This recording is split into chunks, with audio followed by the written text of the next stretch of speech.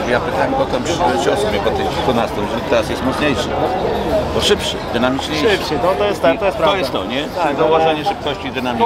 No, dużo, dużo żeśmy przepracowali czasu i Ale przede wszystkim ten ciąg uderzeniowy był taki, że... A, to nie był jeszcze. No ja wiem, wiem, wiem, wiem ale, ale, Jeszcze nie był, jeszcze stopowałem, bo nie wiedziałem na ile...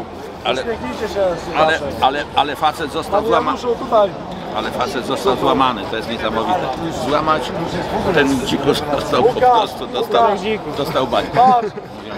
Ale Super, dziękuję bardzo. super brawo. No. Panie Januszu, można krótki komentarz? no cóż to- to komentować, no po prostu to jest coś takie dużo- uczucie.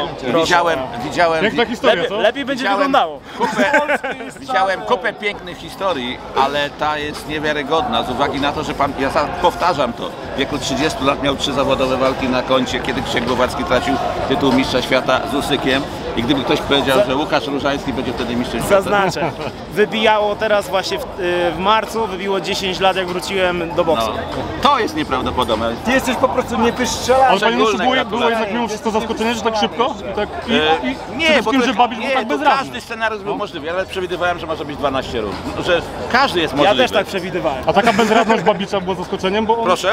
Bezradność Babicza, bo on kompletnie był chyba zaskoczony. To bym powiedział tak, No. że jeżeli cokolwiek było zaskoczeniem w tym pojedynku, to była bezradność Babicza, został tak szybko stłamszony. Bo to jest gość, który był Bo to nie, ale wiesz, to polega na tym, że Babicz trafił raz czy dwa, a ten to się otrząsnął i w ogóle jakby go... Nie było żadnego wrażenia. To jest wtedy strasznie deprymujące. Wiesz, Izo też trafił mocno, tym prawym z dołu wtedy w tej walce i nic. Trafił mocno raz przynajmniej? Trafił raz. Traf, tak? Tak, No. Chyba y, albo lewym sierpem, albo prawym, już, już nawet nie Ale otrząsnąłeś się i dalej. Tak, tak, nie, nie, trafił mnie. A poczułeś coś, Łukasz, tutaj z tych czasów Babicza, cokolwiek? Nie, no poczuć poczułem, ale taki, no, no to wiadomo, te rękawice to są w ogóle, wiesz, tam nie ma, tam nie ma wiele, nie?